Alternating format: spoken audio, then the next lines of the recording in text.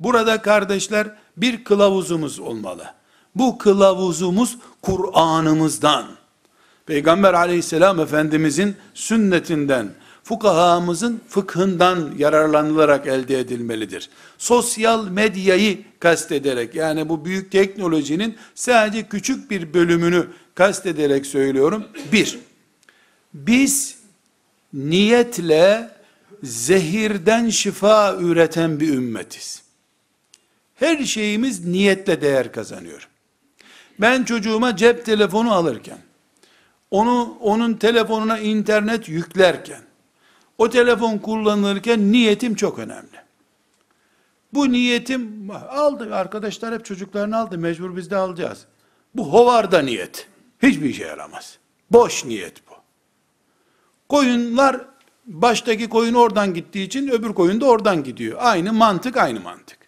Böyle ne cep telefonu alınır ne de ekmek alınır eve böyle. Böyle ekmek de alınmaz eve. E çocuk da peynir yiyecek. Mecbur peynir alıyoruz. Versene şu peynirden bizim çocuklar hem sert peyniri seviyor. Sert peynirden ver. Yazık parana ya. Böyle ticaret yapılır mı?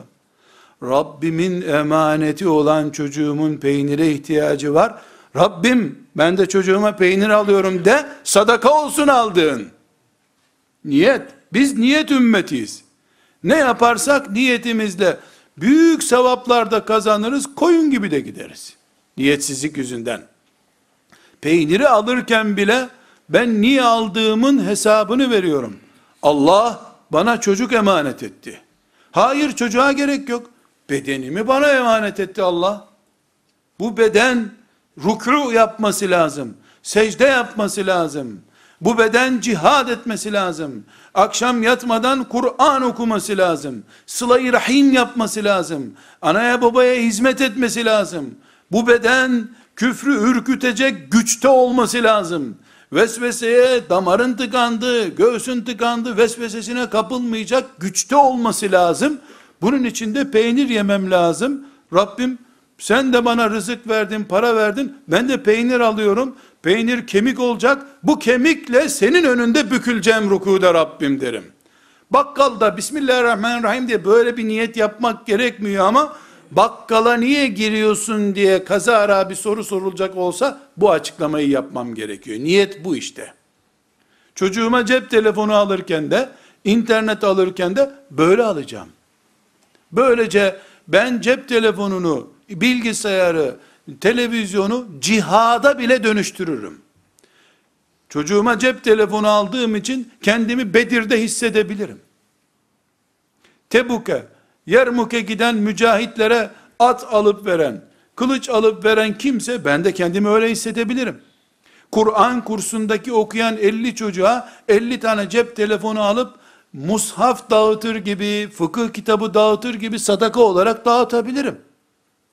Yapabilirim ama nerede, kime, nasıl yapıyorum, sonra nasıl kontrol edeceğim de önemli.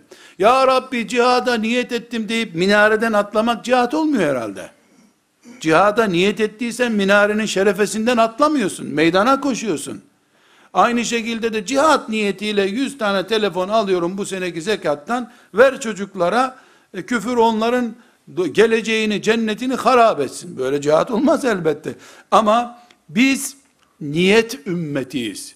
Rabbimiz göğüslerimizi görür, göğüslerimizde volkan kadar patlayacak büyük bir azim ve heyecan görür Allah. Tavırlarımızda da taktik hatası yapmayız. Hırsıza bile versek sadakayı ecir kazanırız. Resulullah'tan öğrendim sallallahu aleyhi ve sellem. Götürdüğü sadakasını adam yanlışlıkla hırsıza vermiş. Hırsız bildiğin hırsıza vermiş. Sonra adam ayıplanınca da ne yapsın adamcağız? Herkese niyeti var, niyeti var diye karşılık vermiş. Sallesi akan hırsıza vermemiş ama. Adamı ciddi zannetmiş. Fakir, meğer adamın taktiği bu. Becerip bu yolla sömürüyor adam. E mümin kalbini açıp bakacak hali yok. Vereceği bir ekmek parası savcılıktan soruşturma raporu getir diyecek hali yok bir ekmek parası için. Görüntüye aldandı verdi. Mümin sıkıntıya düşmez. Ama çocuğun eline carcuru doldurulmuş, çakmağa çekilmiş tabancayı veriyorsun. Allah için verdik. İleride cihat eder diye çocuk tak dedi anasını vurdu. E biz niyetimiz iyiydi. Böyle safsata olur mu? Yaşına baktın mı? Emniyeti çekilmiş miydi bu tabancanın? Ruhsatlı tabanca mıydı? Zamanı mıydı? Çocuğa nörolojik test yaptırdın mı? Tabancayı görünce kimliğini saklayabiliyor mu çocuk? Şahsiyetli bir tip mi? Öyle silahı çocuğa verip kendi canını ve başkasının canını tehlikeye düşürmekten söz etmiyorum. Niyet ümmetiyiz ama boş niyet ümmeti değiliz. Allah'la bağlı niyetler yaparız. Çünkü niyet edince biz nasıl niyet ediyoruz? Neveytu lillahi diye niyet ediyoruz. Allah'ım senin için niyet ediyorum diyoruz. Allah'la ilişkili bir niyet ortaya saçılmış bir nimet değildir. Ucunda Allah olan bir şeyde ciddi düşünce ve istikrar vardır.